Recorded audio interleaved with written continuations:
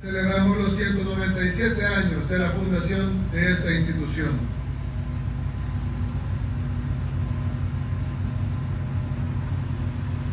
Nuestros soldados han sido héroes en todas las batallas que les ha tocado luchar.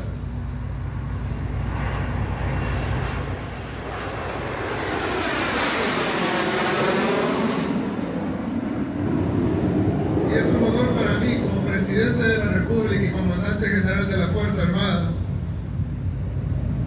poder compartir ese orgullo con ustedes, con el soldado salvadoreño, que es sinónimo de valentía, de coraje, de determinación, de esfuerzo, de sacrificio y de lealtad.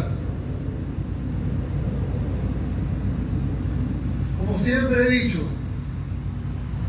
la mayoría de carreras que los seres humanos escogemos son carreras que nos mantienen seguros del peligro. Pero son pocos los seres humanos que tienen dentro de ellos la voluntad de ir hacia el peligro para proteger a los demás. Entre ellos, por supuesto, están los soldados. Entre ellos, por supuesto, está nuestra Fuerza Armada,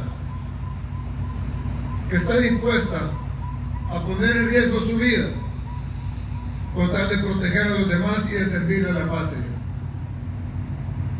No cualquier persona está dispuesta a eso. Y no, y no todos los días se reconoce como se debería.